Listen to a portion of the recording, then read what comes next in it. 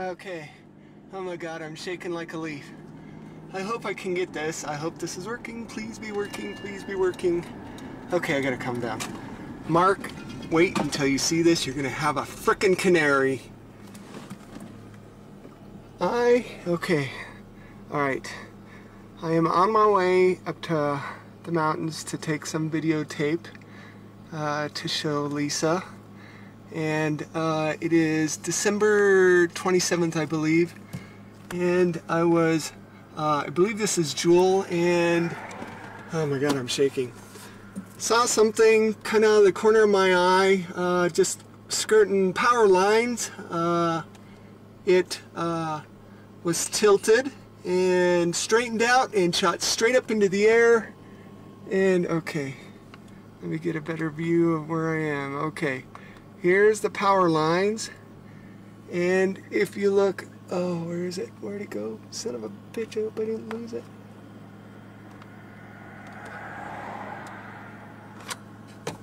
Okay. Pull over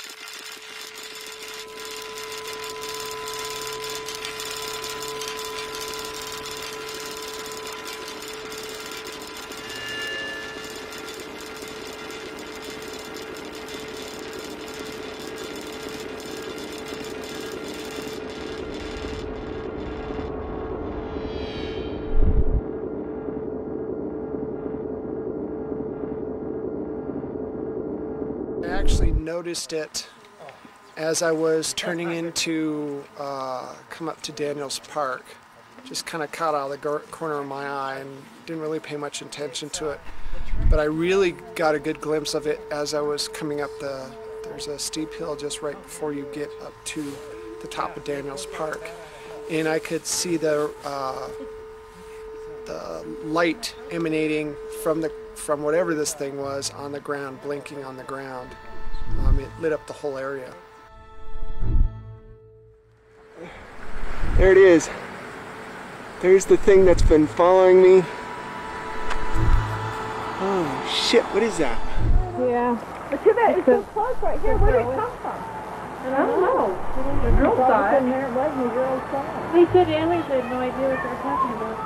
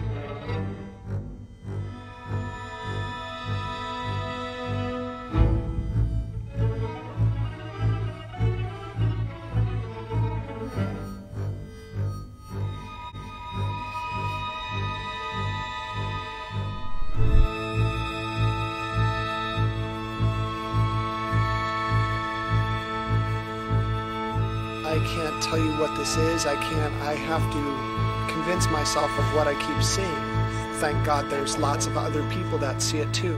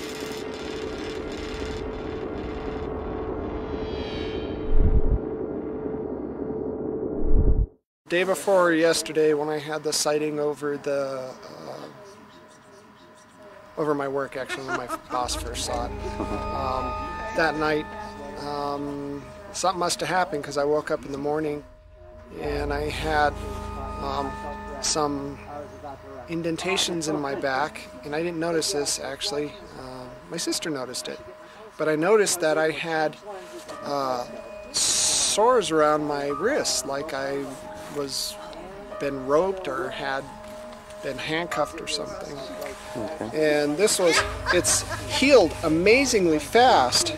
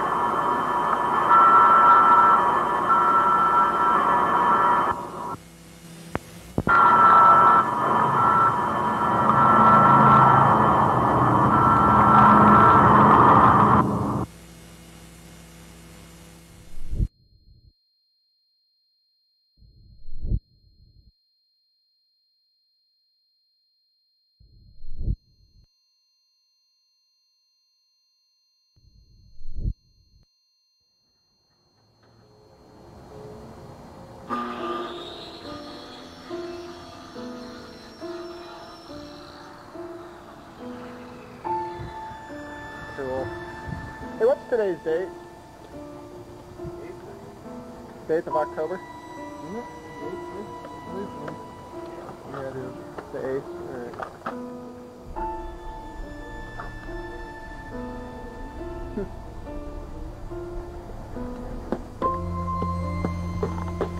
I don't know, personally I think it's a little fishy that something happened and uh, just the next day they come and replace all that siding.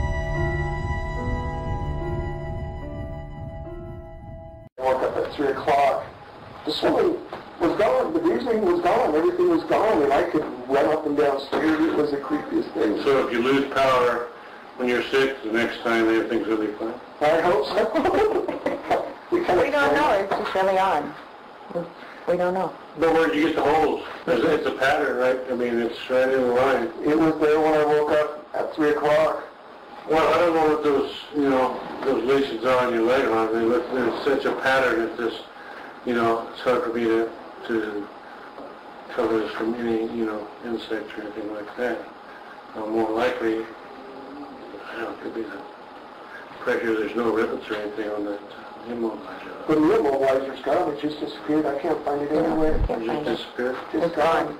You were at the pit? Yes, I did. I went to bed, it's gone, we looked everywhere for it. Where do you live? yeah. I want to, I want to go investigate. I, where, I don't know. But anyway, your exam is fine today.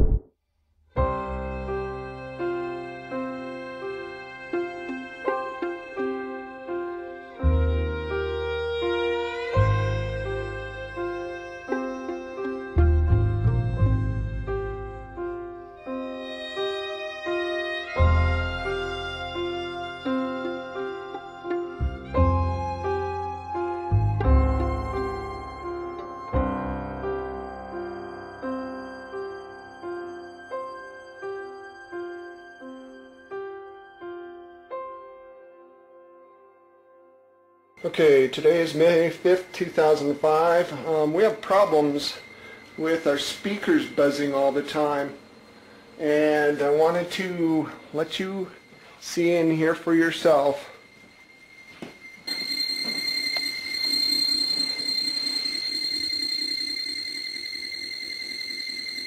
Okay. Once again, it's off. There's no power. I'd like to know how the hell they do that.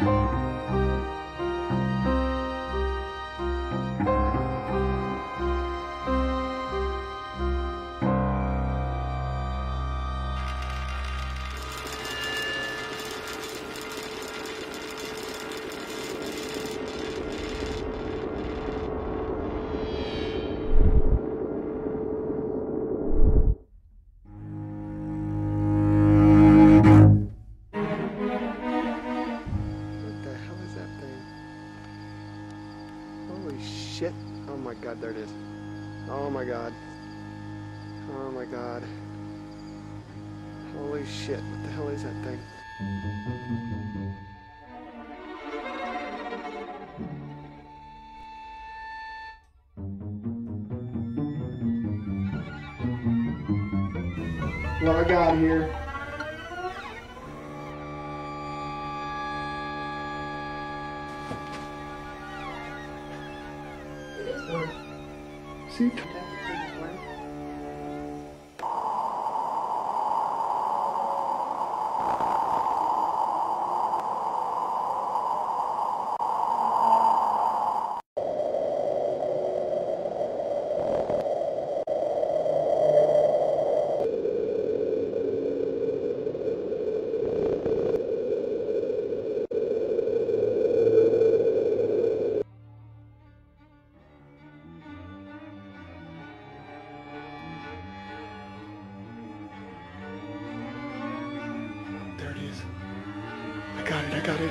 Got it.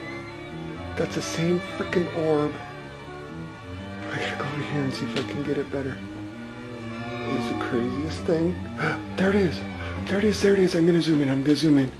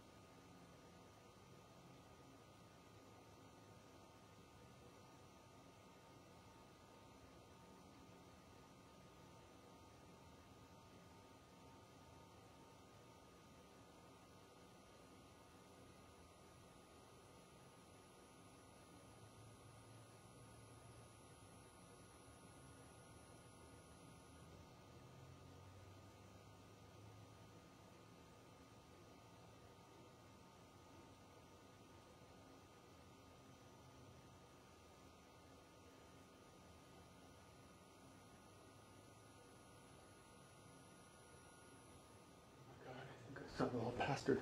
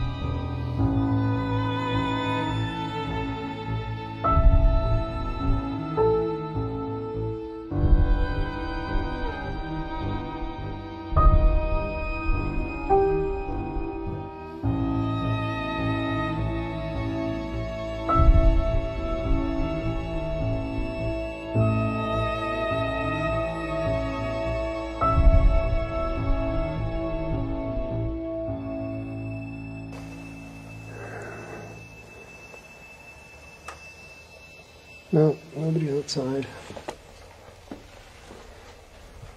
I have no clue what the heck's going on. But, oh well.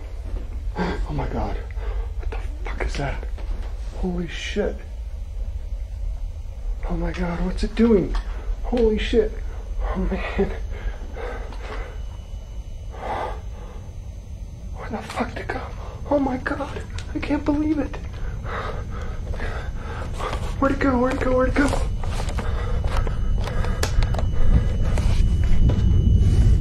Holy shit. Oh my god.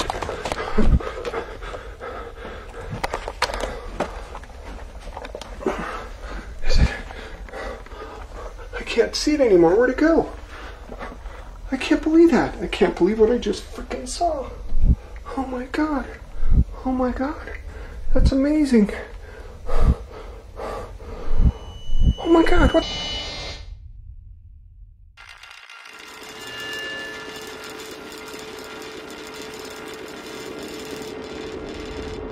Message delete. Press 7. Reply. Press 8. Save. Press 9. More options. Press 0. Resave. Urgent message. Apologize for being so forward. It did not take us long to get your phone numbers. Our surveillance is mostly for passive monitoring, but it does come in handy. I cannot tell you who I am for safety reasons, but I can tell you that your perceptions of Stan Romanek and his experiences are real. As you have probably noticed, Stan is slightly different. The way he thinks, the way he perceives the world, seems to be a little more advanced than usual. The interesting thing is that Stan has no idea who he really is. Okay, Lisa, hit the button. One old message. Hello, Stan and Lisa. My intention is not to scare or alarm you, but to warn you. It is great that you are back in Colorado, but Colorado Springs was not a good idea. It seems you have moved into their backyard. Now it is easy for them to get to you. I know how stubborn you are, Starseed, but please heed this warning and know that are in the children are at risk also. Now listen, Starseed. You know you are different. Follow your instincts and stay alert. This is too important. Soon it will all be revealed. And Starseed, do not be afraid of what you are.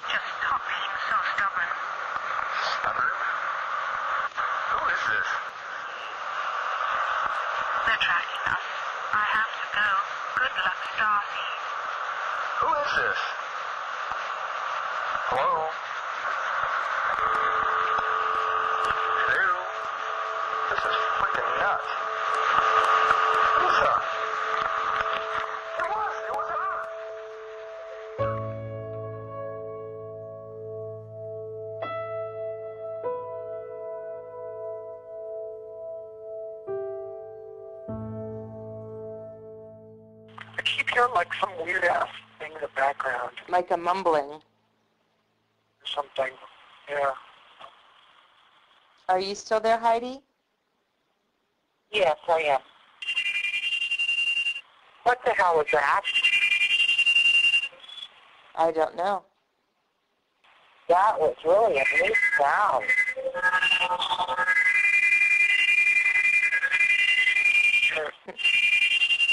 That? It's making me feel weird. You hear that, Stan? Real? Just stay on. How do you feel weird? Hello?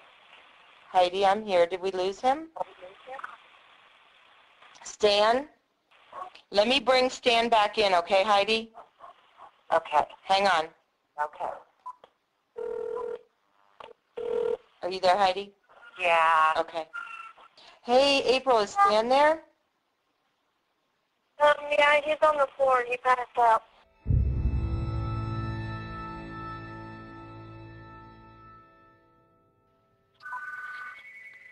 Hello? Victoria, Yes. please tell Starseed we are sorry. We did not mean to affect him that way. It is to help him transition into the next step.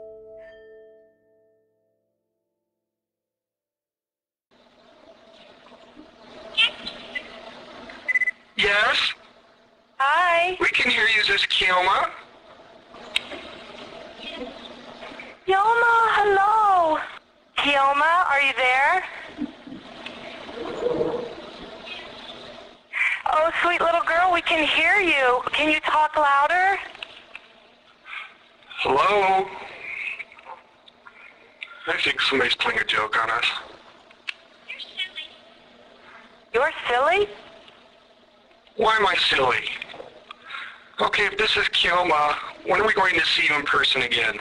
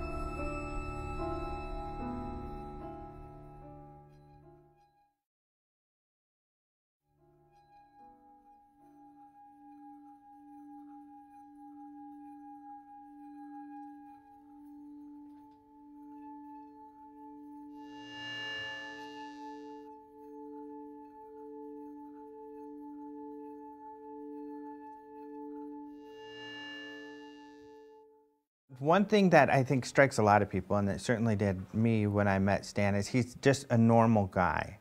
He's almost like a barometer. And, uh, you know, and when things around him change, it really affects him. My first thought was that he was highly sensitive, highly aware, what I would uh, think of as the uh, artistic personality. Answered questions quickly, appropriately. I was impressed. He seemed like a normal guy. Average person, nothing unique. They're a normal family. I mean, I saw their family life. They all seemed uh, very honest and very sincere and down to earth. He wears socks, he wears shorts, he wears shirts. You know, it's it's not like an abductee is somebody who wears a tinfoil hat. They don't have moon boots. You know, he's very normal. But he has abnormal things happening to him, around him, but more for him. You know, it's pushing him to do something very important, not only for himself, but in a way for humanity.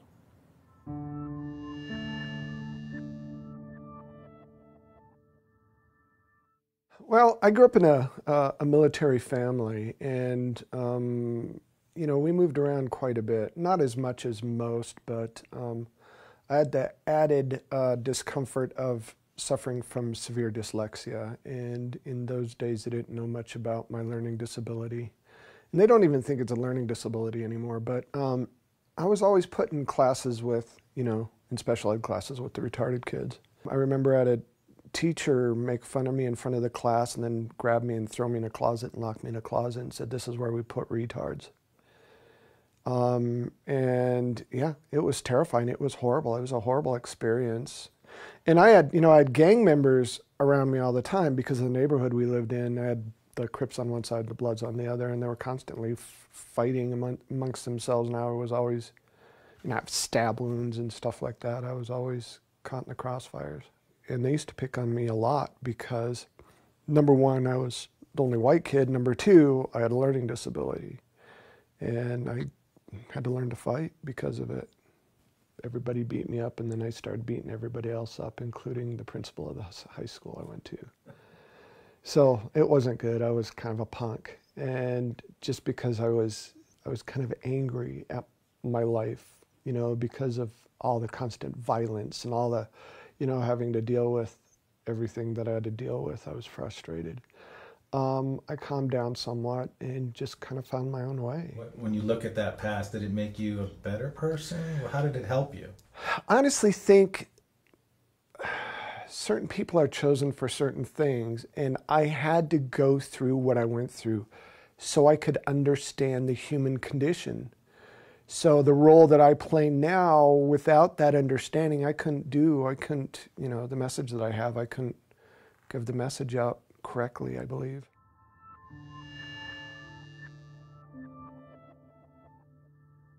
You know, when I was growing up, my opinion of UFOs was I thought people are crazy if they believed in that stuff. You know, I just didn't believe it. There was no reason to. I didn't even pay attention to it. I was in my own little world, my own little reality bubble, and that's the way it was. I was taught that there's nothing out there other than us. God made us, and that's it. And so when this big event happened, it switched everything around. I first, I mean, it, it literally took me a good two years to come to terms with what had happened. And stuff continued to happen through that time. And what makes it so different is when this stuff happened, there were other people around. I wasn't by myself like a lot of these that you, you hear about. Um, most of the stuff that happens with me, even now, only happens with a lot of people around. So I, it, you know, took a lot to shake my tree, but when it shook, it shook violently and it changed everything.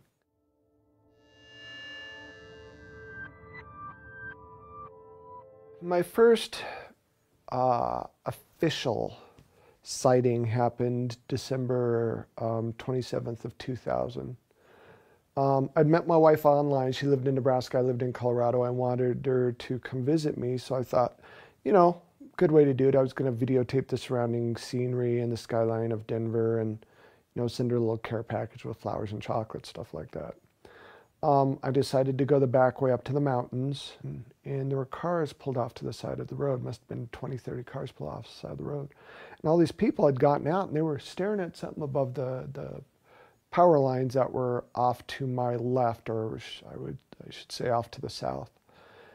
And when I, as I was driving up, I'm looking at, trying to see what they were looking at. And it looked like some kind of weird silver hot air balloon. And I'm thinking, that thing's gonna crash into the damn power lines. And as I got closer, it's like, wow, isn't that the strangest hot air balloon ever? I got my video camera and started, you know, trying to um, videotape this thing. As soon as I rolled down my window, this thing acted like it noticed me somehow. And it was actually tilted forward and it was moving along the power lines and it reorientated itself and literally shot to about a thousand foot. Um, before that, it was maybe a hundred foot off the ground, just right above the power lines. And again, 30 foot diameter, this thing wasn't small. You know, I was fighting within myself, you know, is this, am I really seeing this?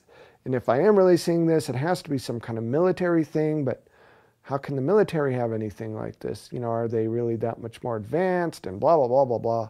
And then I get a hold of Lisa, you know, I call her and I explained to her and I, I was upset. He called saying, You're not going to believe this. I, I don't know what this is, but turn on your web camera.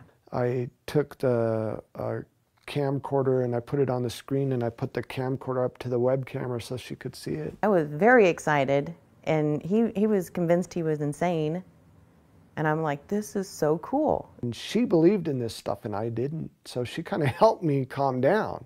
I mean, he was just so excited, but scared. You know, it was just that little boy in him where it's like, you're not going to believe this. And yet it's like, I don't believe this. This is too weird. This is too scary. This is, but this is really cool. If this is what it is, you know, kind of a drama with him. It took a lot, a lot to convince me that anything like that was even remotely real.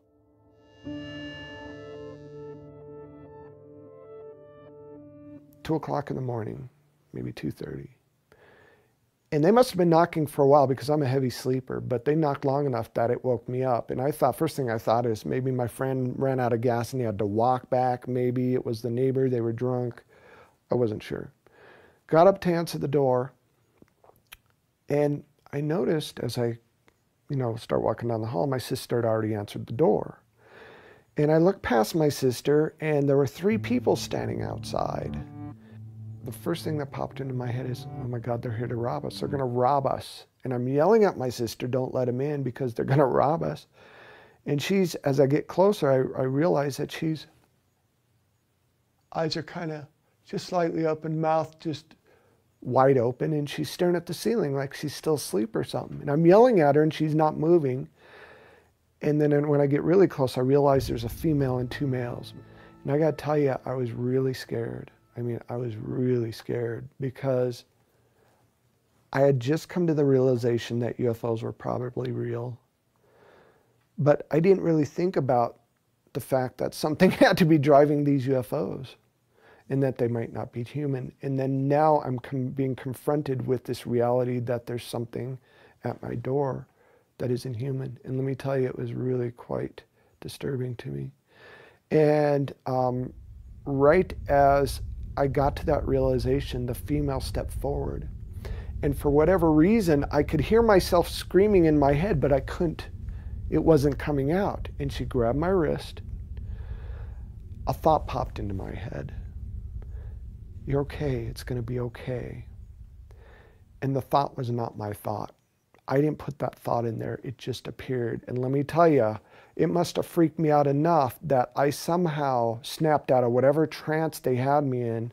And there was a male on either, either side of me. And by the time we got outside to the balcony, I grabbed one of the males and I was going to literally throw him off the balcony. And I felt the light tap, like somebody was tapping the back of my head, and I woke up somewhere else.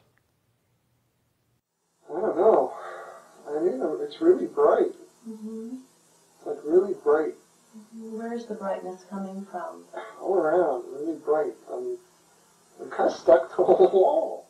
Mm-hmm. I think it's a wall. I can't tell. Mm-hmm. What makes you think you're stuck to a wall? I can't move my arms. I can move my head. I can move my body. That's like I'm sucked Mm-hmm. or glued to the wall. You know, you go to an amusement park and you those centrifugal force rides that spin around and you're stuck. To, that's what it felt like to me. I could, but it was in, incredibly intense.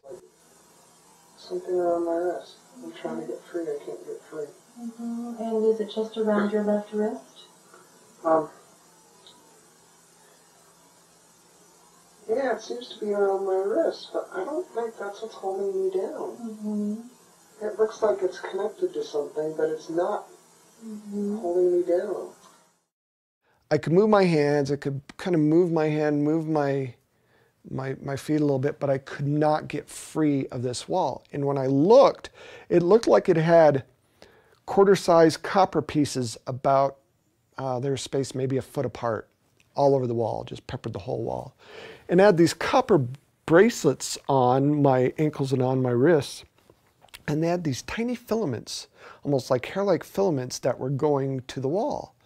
And if I wanted to, I could have snapped them, but for some reason I, I was stuck, so I couldn't do anything. I couldn't move. Well, they're turning me over. They're like turning me around, and I can't seem to move very much. And they're doing something to me. And they turned me around and they started doing something my back that hurt, really stung really bad, like they were cutting me or something.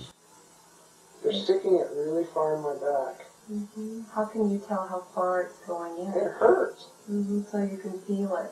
Yeah, but it's weird is she puts her arm on me and then I relax a little bit.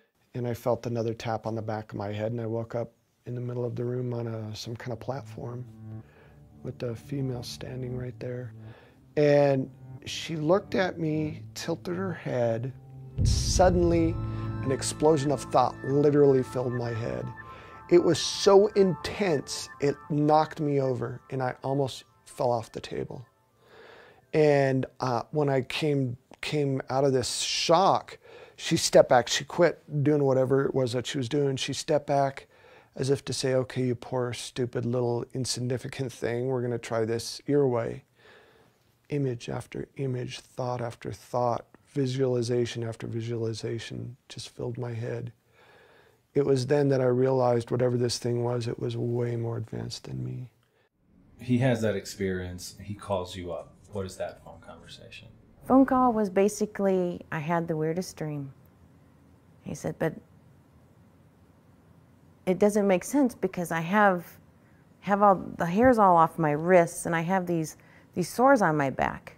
I was trying to be the analytical one, you know, it's like there has to be a reason for it. It can't be that aliens came in and abducted you. And he's like, Well, I know it was a dream. It was a dream. Aliens aren't real. And then he called me back because he's like, I'm, I'm going to go. And he called me back and he goes, it, it wasn't a dream. I know it wasn't a dream. I fell apart. I started crying and shaking and freaking out. It's like, oh my God, because it made it real. It made this whole thing real. This really happened to me.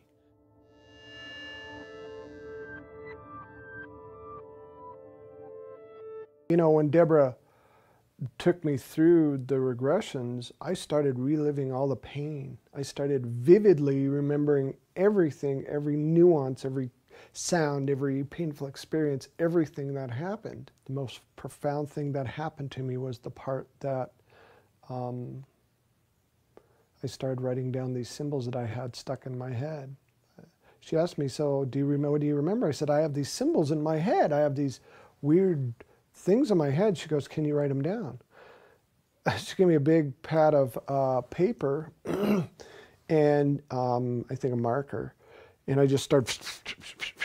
I remember the symbols really clear. How do you, can you describe Oh them? God, I could write them down for you.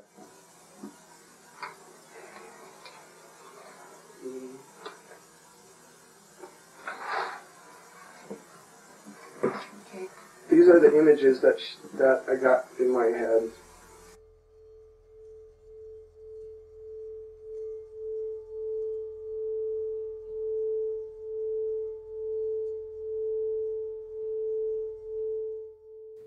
My first abduction experience um, really was about, I think, seeing who I was, maybe seeing how I developed. I'm not sure. The abduction experiences after that seem to involve reproductive stuff.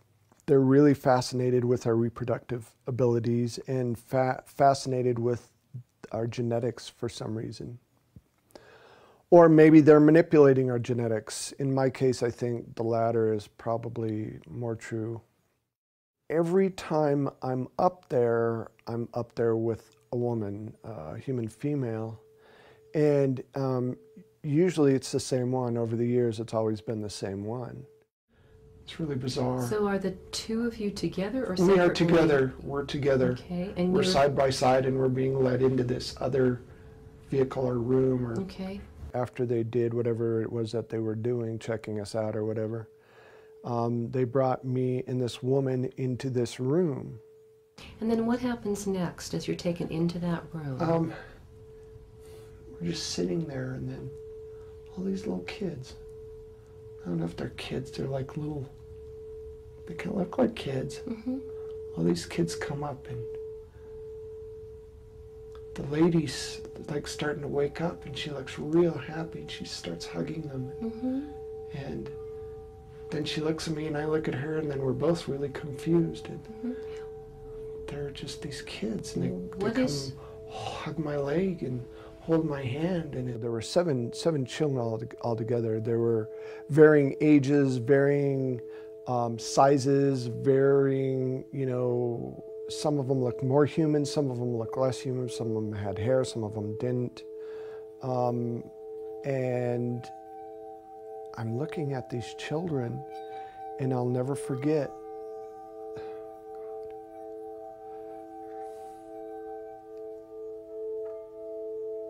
every single time, every single time I talk about this, th- this one little girl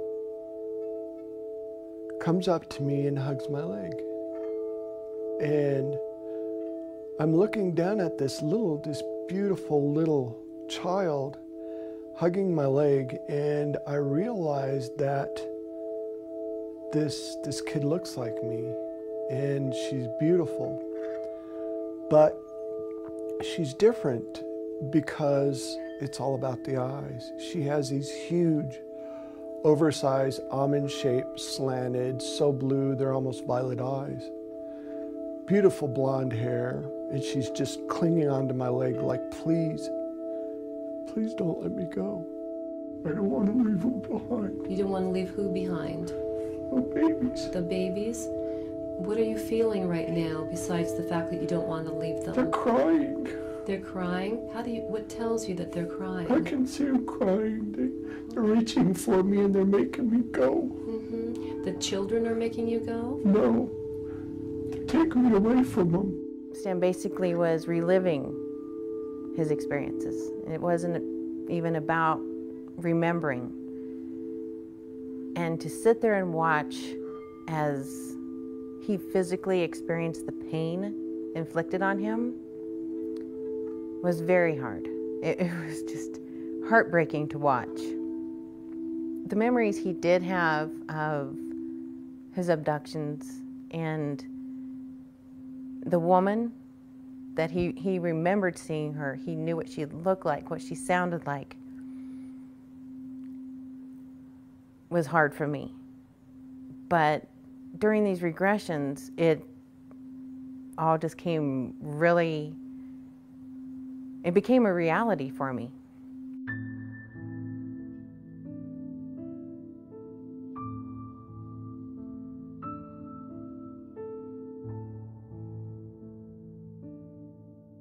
They kept looking at her and looking at her, and Lisa watched me, you know, looking at her. She goes, You know, what's up? And I said, I know her from somewhere. I mean, I, I don't know where I know her, I know her from somewhere. And then it hit me like a lead balloon, like a ton of bricks. She was the woman I was with all this time, every time I was taken. It was the same woman and we became very close friends. And it got to a point where it was kind of hard for Lisa because we had this weird connection, me and Victoria, this bizarre, unnatural connection. I was so wrapped up in the, you know, the case and learning about it and learning what my role was at it in it and experiencing so many things around me that I wasn't really I wasn't focused on Lisa's feelings. When he found Victoria, that was really, really, really hard for me to deal with because I knew she was real, I knew she existed, and in some ways I prayed that he never found her.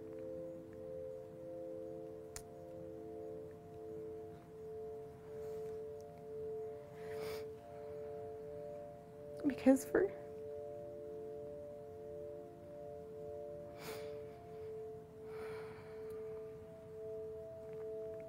for six years, I worried what would happen to me.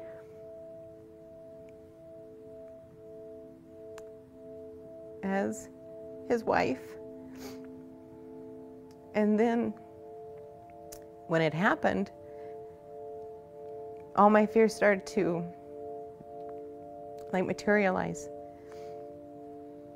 It was like this new courtship.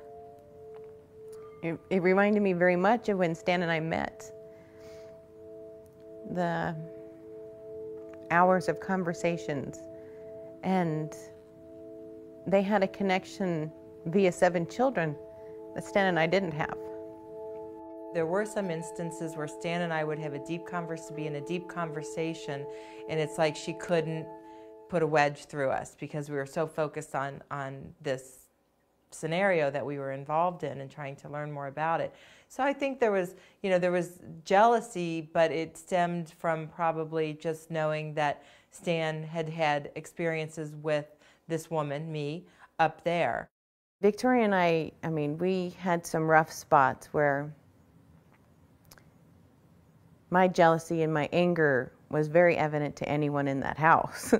We'd get together and the two of them would disappear and I would flip out. I mean, I would just be furious because when I voiced my concern, it's, oh, you're imagining it.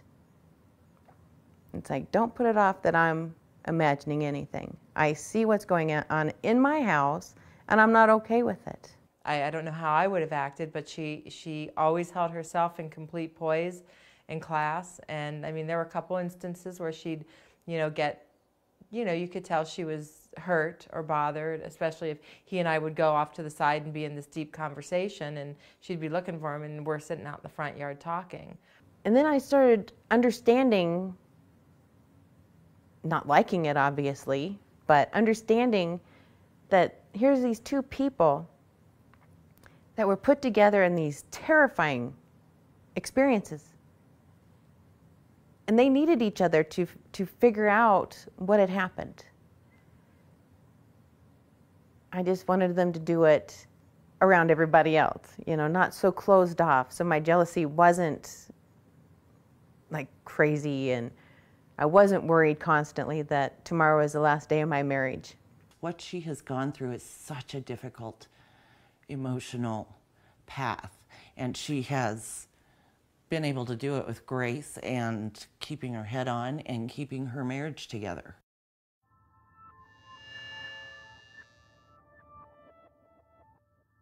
I have never doubted that my husband loves me more than anything else. And he knows that, you know, obviously I'd give my life to support him. You know, it's I would never lie for him, but I will support him. I'll back him up when he tells his story, when it's true, and the events are accurate. Otherwise, I call him out on it. It's like, no, that's not when it happened. So. Can I interrupt you for that? Mhm. From that, you just said you would never lie for him. That's right, I won't. To your core, that's who you are. Absolutely. I've, So nothing that has happened in any way, shape, or form in his life and to you has been fabricated. no, nothing, nothing that he has shared with you or anyone else is fabricated. I would not, I cannot tolerate liars. I cannot stand deception. I would, if, if I thought Stan was lying about any of this, making any of it up, I would have walked away faster than anything. Love or no love. I, I wouldn't do it. Uh, he's not lying. Stan, no. You, when you live with somebody and the person is undergoing trauma, and the person, uh, uh, you know, has he has physical contact. In other words, this isn't just downloading of aliens.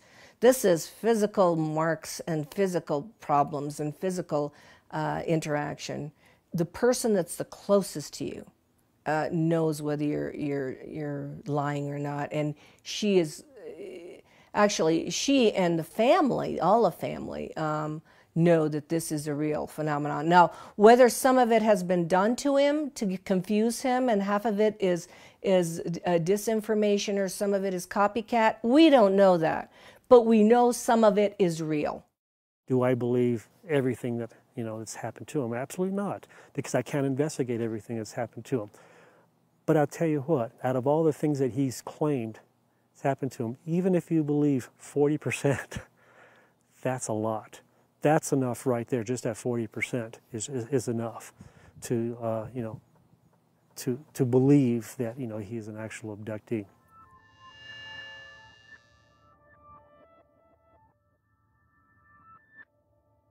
This light just explodes onto the ground right next to the house and starts coming up towards where the video camera is bolted to the side of the house.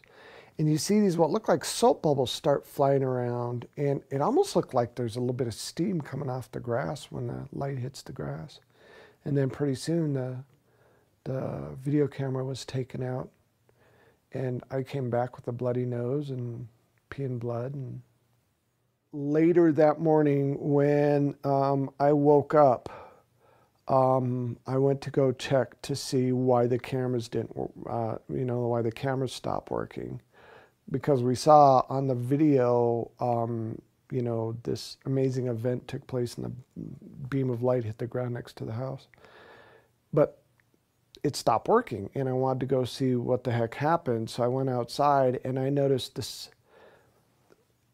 it's as if where the beam of light hit the camera, it cleaned the whole area of siding in this perfect like arc. And it literally melted the siding. You could see where some kind of heat warped and kind of browned the siding a little bit, especially up toward the camera. And it also killed the grass below. Now, when they analyzed the siding, it cleaned the siding somehow or pulled the dirt out of the siding all the way through the molecular structure of the siding itself.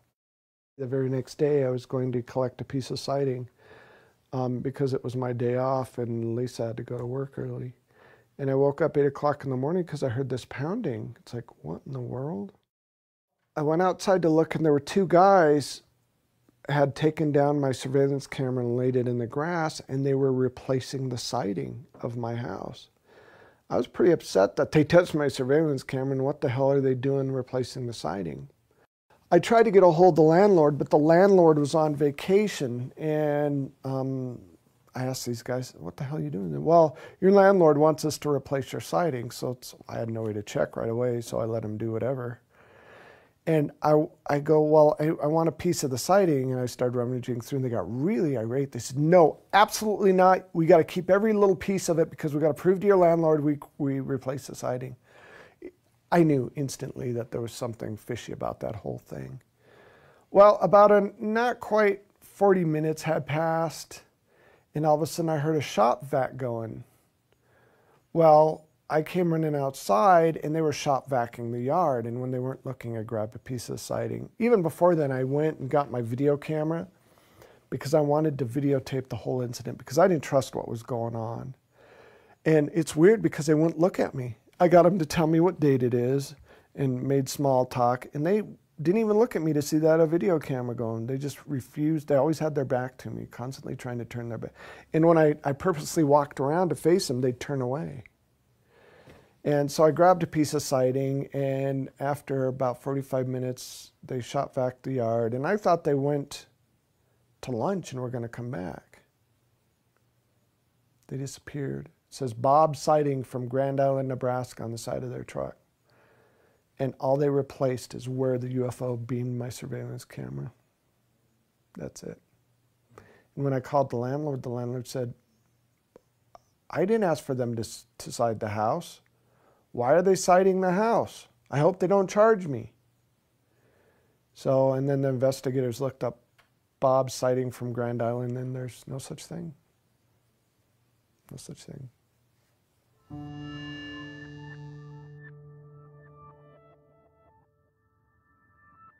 This weird British sounding voice left a message for us saying that it wasn't safe to live in Colorado Springs. And you know, I thought somebody was joking around, but uh, honestly, I wished I would have listened because not long after that, um, I was riding my bicycle to work because I didn't live very far from uh, where I worked. And this black SUV kind of pulled up alongside of me as I was riding, and I heard them say something. It's like, oh, great. You know, some militaries, some, some uh, military, drunk military types trying to start trouble because there's a lot of uh, military bases in Colorado Springs. Well, I ignored them and kept riding. They were stopped behind a car at a stoplight, so I just went up and over an embankment and drove into the parking lot where I worked, and I was going to go around the building to lock up my bike. Somehow these guys knew exactly where I parked my bike because they found a back way to get into the back parking lot um, where they cut me off. It was a guy on the passenger side gets out of the car and says, You need to keep your mouth shut. And I look at him, I said, I didn't say anything to you. And I knew these guys were going to start trouble. And you could tell they were definitely some kind of black, black ops or military just by the way they looked. He started shoving me, and I kind of fell off my bike a little bit. And um, I heard him talking about the alien stuff. And I said, I can't shut up about this stuff. This, that's ridiculous. And so he started swinging, and we got into a tussle. And, you know, I grew up in southwest Denver, so I kind of know how to fight a little bit. And um, then the guy behind the passenger seat, there were four of them altogether, got out and did all these kung fu karate kind of moves. And I actually laughed at him. I think it kind of pissed him off a little bit. But he came at me, and I had a bike chain wrapped around my seat that I locked my bike up with, and I just started wailing at him. And I honestly thought I killed him because he was on the ground jerking around and shaking really hard, like he was having convulsions or something. And I felt this intense, kind of weird tickle pain thing on my lower back, and I hit the ground. And this, as this was going on, people were driving by watching this happen.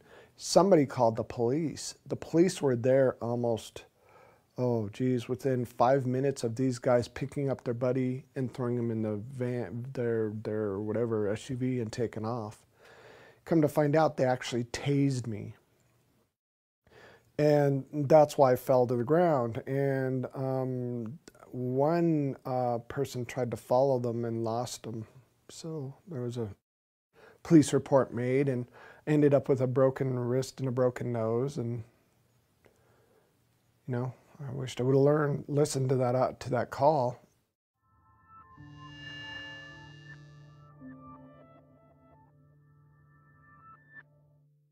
This probably was the most significant event for me out of all of this that's happened so far. I'm still waiting for something more impressive to happen. It started out, I was painting the eave of my house. And I had uh, grabbed for, I think it was for a brush to kind of brush the old paint off the eave. And I, I kind of fell uh, off balance a little bit and literally fell 12 feet onto the ground and I tried to catch myself. Trouble was there was a wheelbarrow full of bricks just right beneath me and I twisted my leg just right and tore the anterior cruciate ligament in my hamstring of my right leg. Went to the doctor, they told me I was going to need surgery that next Wednesday. I think this happened I think it happened on a Friday, so I was going to need surgery that next Wednesday. I had to wait through the weekend and everything. Tuesday night, something happened though. Usually, when I get taken, what will happen is, uh, for whatever reason, whatever power or whatever technology they use seems to blow the circuit switches, blow, blow the breakers in the house. So um, Lisa woke up in the middle of the night because I was gone and all the breakers were blown. She could hear the breakers go or something. I don't remember exactly what woke her up. But when she tried to find me, I was completely missing. I was gone. I was nowhere to be found anywhere. She looked everywhere for me. She eventually got all the breakers flipped back on, all the lights back on, and she came in the house, and I was standing dazed, kind of dazed in the middle of the living room. Now, to me, I woke up and I was looking for Lisa. In reality, I was already missing and Lisa was looking for me. We didn't really give it any any more thought. We didn't give it a, a second thought. And we decided, you know, we'll just go back to bed. You know, could have been a fluke, who knows. Well, the next morning, Lisa, I couldn't work because of my knee, so I was off work. And Lisa had to get up fairly early to get ready for work. So, six o'clock in the morning, she got up and she noticed this circle in my yard. And it kind of looked like the same circle that we had in our yard from a prior abduction. Now, what's interesting is Lisa woke me up to come look at this circle. And she was looking at me weird, and I walk up to the window and I'm looking. I said, That is this, that's just crazy. How'd that get there? And Lisa goes, Do you notice anything different? I go, Yeah, there's a damn circle in our yard. She goes, No, do you notice anything different? I'm looking at her like, What are you talking about? So she goes, Come here. So I walk over to her and it's like, Hey, where'd my knee brace go? Where'd my cast go? And how come my knee doesn't hurt anymore? And how come it's swollen anymore? And why in the hell do I have five holes in the back of my leg? There was hardly any bruising left. My knee felt, my leg felt a little stiff, but after a while it stretched out. No pain, no pain whatsoever. Well, they found my knee brace a few hours later when the researchers came over on the side of the house, literally melted into some bricks, including the, the aluminum rods were all melted. And bits and pieces of it were found in the field behind our house, and some of it on the swing set that was in our yard, as if this thing was thrown out of some high place and it just landed on the side of our yard. Well, The funny thing is, I had to call the doctor to explain why I didn't need surgery. And I remember calling and I left a message for her and she called me back because she was off work. She called me back and she said, Stan, I understand you're really frightened about getting surgery. But if you don't get this surgery, you're going to be a cripple the rest of your life. You'll never be able to use that, that leg again. I said, Look, I can't explain it, and I wasn't about to explain that I was taken by aliens and they fixed my leg. There's no way I'd say that to her. She'd think I was nuts. I said, I'm just going to have to prove to you I don't need surgery anymore. She goes, All right, all right, I'll tell you what. I'm not at the office right now, but my associate's in the emergency room. I'll call him, set it up. You go see him in the emergency room, and he'll tell you the same damn thing I told you. It's like, okay, fair enough. Well, I went to the emergency room and my wife brought a tape recorder and we recorded the whole conversation. And this guy had no idea how it was possible that I went from having a torn ACL to not having a torn ACL. And what kind of miraculous thing could have done this? At first, he said those holes in the back of my leg could be bug bites, but then there's no rivets in my, he didn't have any explanation. And then he said, suggested that we call the Ghostbusters to come figure out what was going on. And I never told him anything about the, the ET stuff. He just assumed.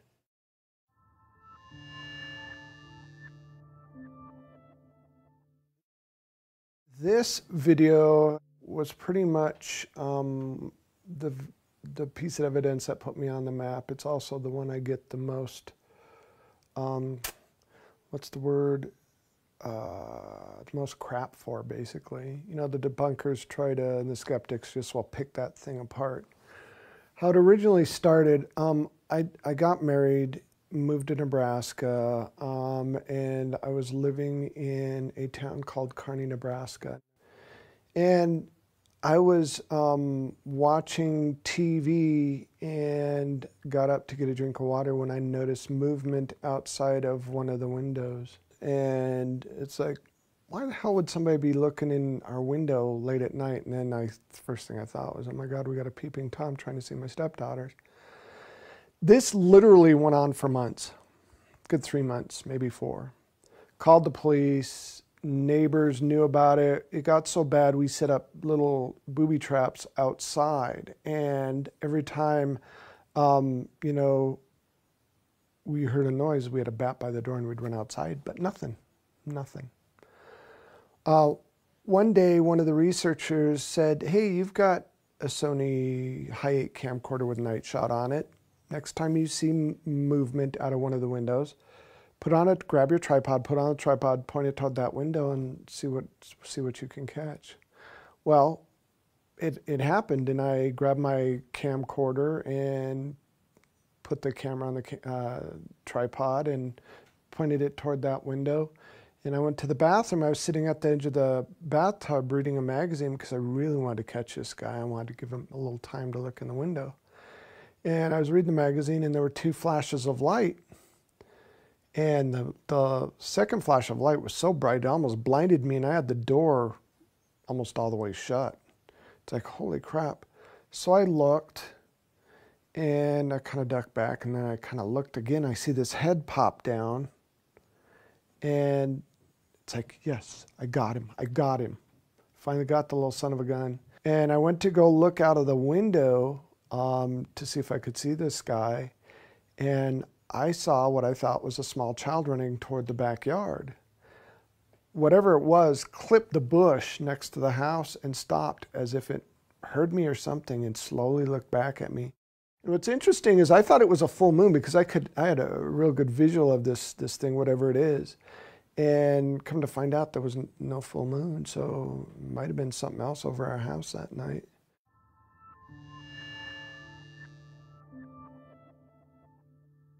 I was kind of staying away because my stepson had friends over for a sleepover. I didn't want him to get in trouble. And I woke up because I heard a noise. I had one eye open.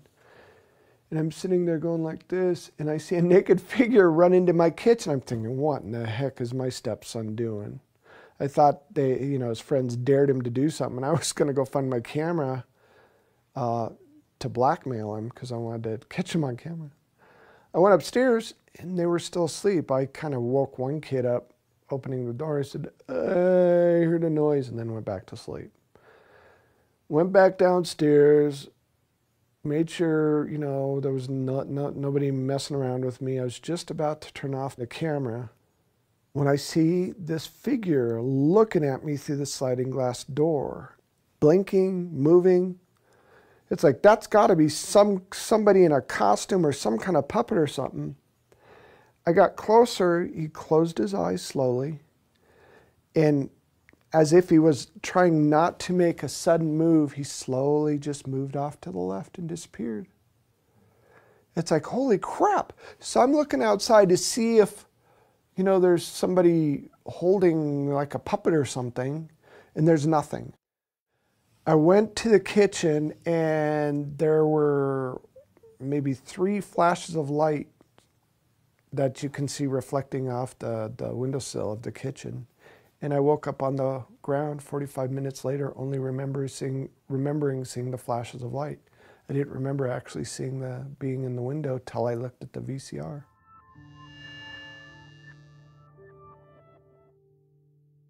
Well, we were um, having a party up at their home, and uh, it was a book signing party the surprise party for Stan. One of the things that we try to do is make sure someone is with Stan at all times so that if something does happen, if he sees something, that there's a, a witness there. It was raining outside, and I was looking out the window, you know, being really grateful for the friends I had, when I noticed this little girl at the edge of the driveway. Stan had seen the little girl outside and it was raining. He's like, come here, Victoria, look at the little girls out here. And I'm like, Stan, it's probably just a neighbor kid. Just get in. It's I'm not going out there. It's raining. You know, and, and it was after that that I said, I will never not pay attention if Stan Romanek says, hey, look at this. This is unusual. I had my porch light on and it illuminated uh, uh, the yard up enough that I could see this little girl standing in a gray jumpsuit at the edge of the driveway. She had dripping wet hair, and I'm thinking, it's nine o'clock at night. It's raining. This girl's wearing a jumpsuit. What parent in their right mind would let their little daughter out in the rain like this? And why is she wearing a jumpsuit? And why is she staring at me? I remember Stan going outside. He said he wanted to go outside for a little while.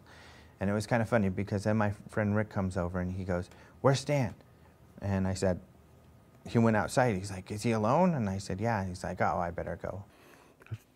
Damn it let me know whenever this happens. So I went outside immediately. I was looking for a flashlight. All I had was my camera, and I was using my camera as a flash because I wanted to see what this little girl wanted, and she ran away again. And it was by chance that I clicked the camera just in time to get a picture of her looking from behind a tree, looking out from behind a tree. And I was so dumbfounded and amazed by this picture. All I could do was sit there and stare at it.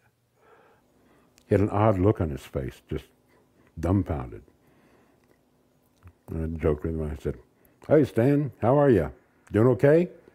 He didn't respond. He just looked at, he stared at me. And I was speechless. I couldn't say anything. He goes, Stan, are you okay? And I just showed him the picture. He goes, Oh my God, you have to show everybody this picture. This is the most amazing thing I've ever seen. When we got back into the party, I told everybody, want everybody to listen for a second. And I said, I need everybody's attention right now. Something appeared to have just happened outside. And I'd like every one of you to look at what's on the camera here. And her eyes were really large. They were very large, almond shaped, human eyes, but very, very large. It was more than a photograph. She was on top of that camera, emoting emotion. It was a moving moment. Many people just started crying. They didn't. know. There was something so profound about what appeared may have just happened. So this was really strange, and we're all, you know, kind of freaking out about this. Everybody had taken a look. So I kept telling him, let's get this on the computer, let's get this on the computer. Everybody said, go put it on your computer, go put it on your computer so we could see it bigger. I took two steps down the stairs to go to my office. Beep! The pictures disappeared. We checked, it was off the camera, not there. The shots before it were there, shots after it were there. Every single person that was at that party saw it before it disappeared. And then he received a phone call. And then two minutes later, the phone rang, and somebody handed me the the phone, and I I answered it. It's Daddy. Don't worry, I love you. I'm okay. I started just crying and crying and crying because I knew, I knew in my heart that it was.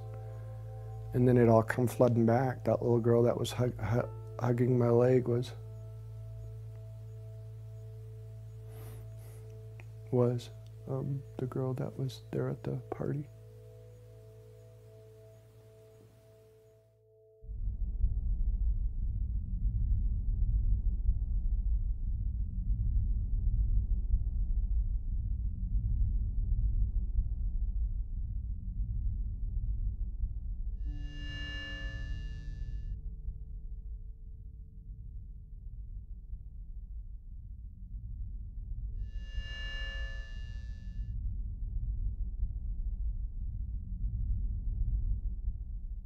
When I ran across his video of his first UFO sighting, I was really intrigued. Um, plus, I was part of MUFON, and I noticed that they had one of their investigators look into it. So really, I kind of, since it was some of the best video I had seen, wanted to look more into the veracity of the video. And I found that uh, it was very credible that the MUFON investigator had found there were several witnesses to some of his first sightings. When you only have a first-hand experience, only one person, and there's not really much you can do with that. That's not the issue. That was never the issue with Stan. There's just so much information out there. Um, it's, it's almost overwhelming. Stan's story is incredible also because it has so much proof.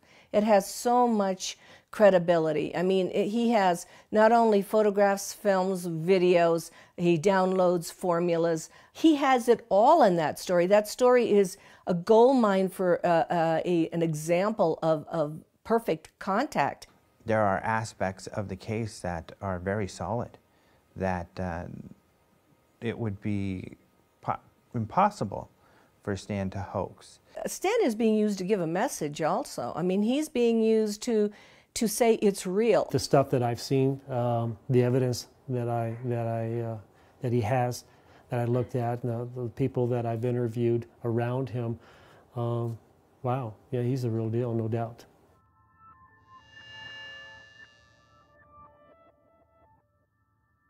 My name is Claude Swanson. I'm a physicist. Um, undergraduate degree in physics, MIT, class of 69, PhD in physics from Princeton, class of 76.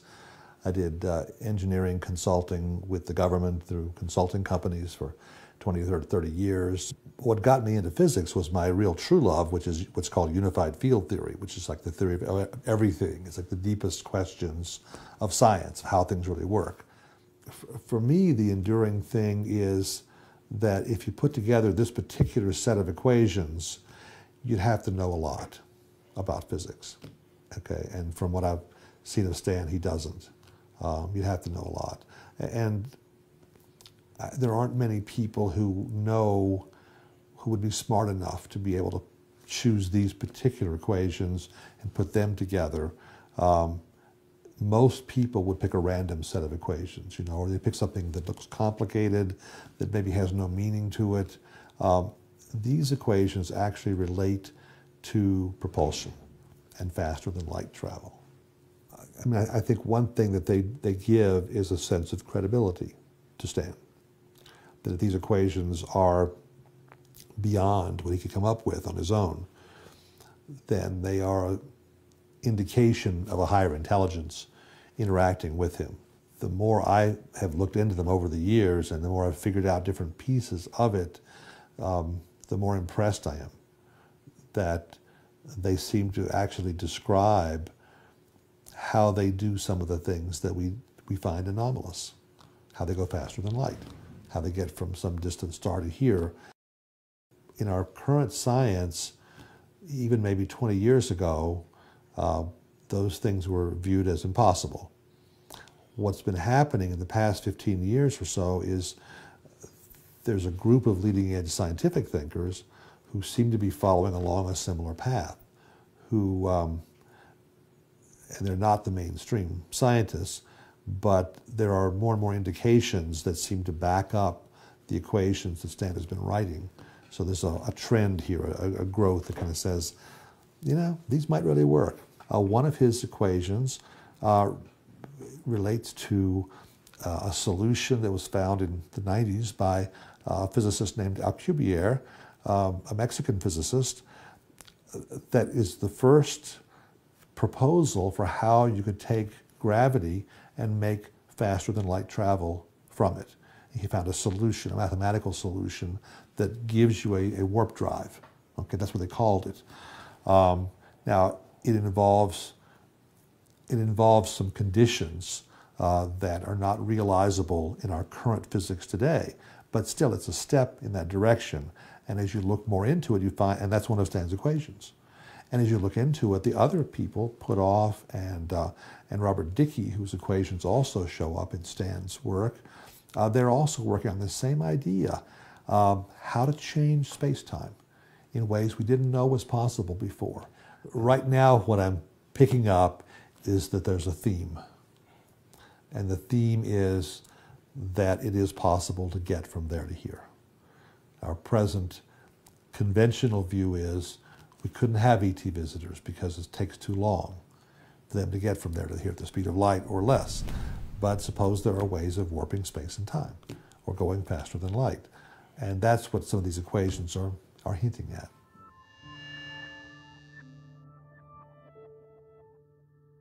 My first name is Stanislav. My middle name is Gergely. My last name is Ojak. I have a PhD in clinical psychology, and I have a background in engineering, architecture and design, industrial design, and education, headmaster private school for gifted children. I administered, with his agreement, with no one else around. His wife was in that building, as was my wife. It was a home of, of mutual friend.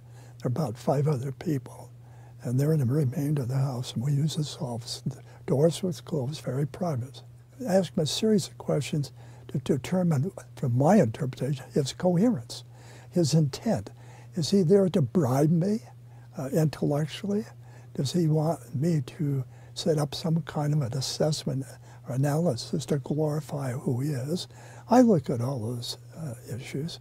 I gave him some document. I said, okay, now I want you to take these tests and answer them at whatever speed you want. Don't worry about the length of time. You can, but you can't ask me any questions. And he said, okay. So he took the post-traumatic stress disorder assessment, and it shows that there's a very high degree of stress related to something. Now it could be related to his marriage. It could be related to uh, something he refers to as uh, a UFO experience. I gave him a personality test, which is called Myers-Briggs, in order to be able to understand his personality relative to, himself and the way he answers questions. I also gave him one for his ability to recall things for memorization. I gave him one for um, interpretation in regards to lying. I outlined 27 different um, questions and how he answered them. And I watched what he did with every test because that's part of the assessment. How did he take it? Was he eager? Uh, was he frustrated? Uh, was he focused? Uh, Did he ever stop and lean back? Or did he ever hit the table? Many things that might show frustration. He did the, all five tests very calmly. And when it was all through, it took, as I recall, almost two hours. It was all through. He said, I'm through. How am I? I said, you look okay to me. He said, me, I'm, I said, I haven't assessed the test yet. How can I answer that? It's okay. Look at it tell me. I said, it'll take longer than that because I have to look at it carefully and do an assessment. He said, can you just tell me, am I crazy or not? Can you say that? I said, yes, I can tell you. From my perspective, you're sane as most people, if not more. You merely have had more exp experiences that confuse others more than they confuse you. And what I explained to him, norm is not something that we can all agree upon. So we have to have a norm which to agree upon. So if you're asking for my norm, are you normal? The answer is yes. If you ask many other people, the answer is no. In fact, they probably call you weird, a liar, and things. I said, you do not lie, or you do not to me. Your experiences are real. I have a lot of proof for it. Therefore, you're okay.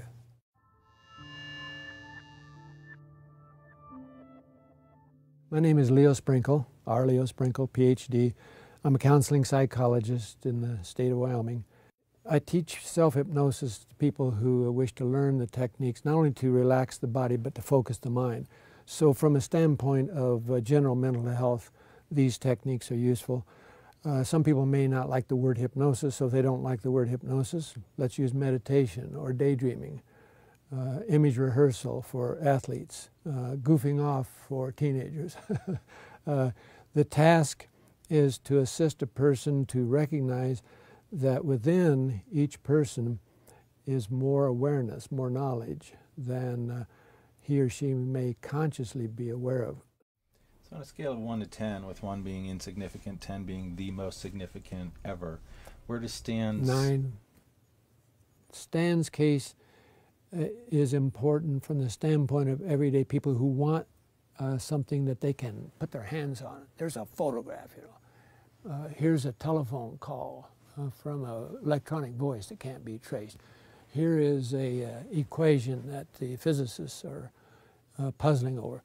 That kind of information means that Stan, as a person, doesn't have to be honest, doesn't have to be nice, uh, doesn't have to be uh, likable he is nice and he is honest and he is likable, but he doesn't have to be because he's got all this information around him. He has been willing not only to share the photographs, the films, the uh, phone messages, he's been willing to work with other people and write books uh, and to create uh, film so that not only his story, but the people who are with him, their stories are being documented and being shared.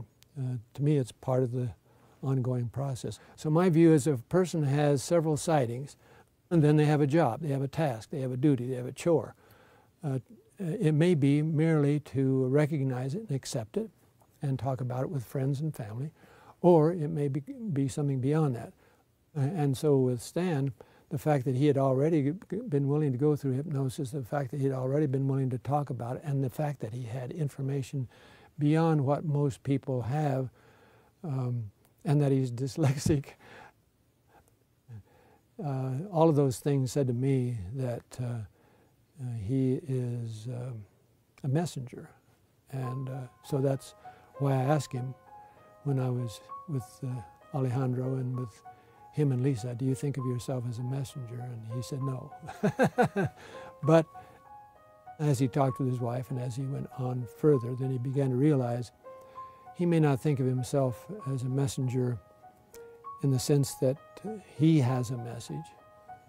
But it's just like when I was a 10 year old kid, five o'clock in the morning, I'm riding my little bicycle and I'm delivering newspapers. I don't know the reporter, I don't know the editor, I don't know the publisher. I'm just delivering the news. And he's delivering the news.